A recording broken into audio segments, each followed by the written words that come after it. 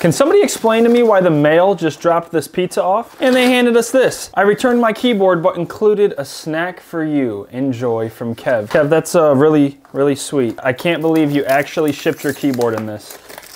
I'll be honest, man, I really hope the snack isn't pizza. Evan, I swear if this, oh my gosh. Why? I, I don't understand. You even included sauce. Like how old is this?